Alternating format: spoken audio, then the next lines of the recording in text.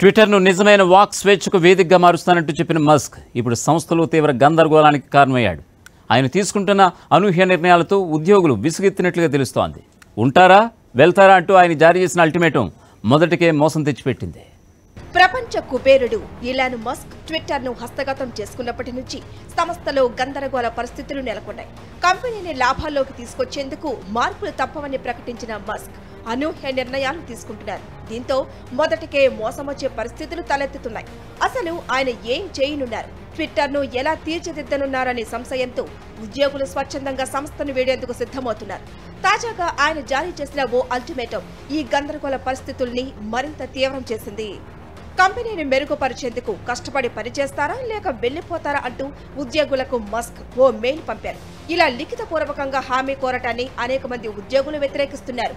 దీనికి సమ్మతిస్తే భవిష్యత్తులో ఎలాంటి పరిణామాలు ఉంటాయోనన్న భయంతో చాలా మంది కంపెనీని వీడటానికే మొగ్గు చూపుతున్నారు. ఫలితంగా సంస్థ కార్యకలాపాల ఉనికే ప్రశ్నార్థకంగా మారింది. మస్క్ ఇచ్చిన మూడు నెలల గడువు తర్వాత వెళ్ళటానికి చాలా మంది సుముఖంగా ఉన్నట్లు తెలుస్తోంది.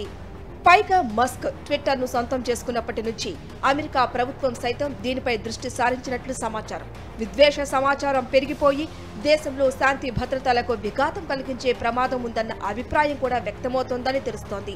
దీనిపై ప్రభుత్వం సమీక్ష నిర్వహిస్తే దాంట్లో ట్విట్టర్ బయటపడే అవకాశం లేదని ఉద్యోగులు భావిస్తున్నారట. ఉద్యోగుల మూకుమ్మడి నిర్ణయంతో అప్రమత్తమైన ట్విట్టర్. ప్రపంచవ్యాప్తంగా కార్యాలయాలు మూసివేస్తున్నట్లు తెలిపింది. ఈ మేరకు యాజమాన్యం ఉద్యోగులకు లేఖ రాసినట్లు సమాచారం. కంపెనీ నిబంధనల ప్రకారం ఎవరూ సంస్థ కార్యకలాపాలకు సంబంధించిన విషయాలను బహిర్గతం చేయొద్దని ఉద్యోగులను కోరినట్లు తెలుస్తోంది. మొదటికే మోసం వస్తోందని గమనించిన మస్క్ వెంటనే అప్రమత్తమైనట్లు సమాచారం.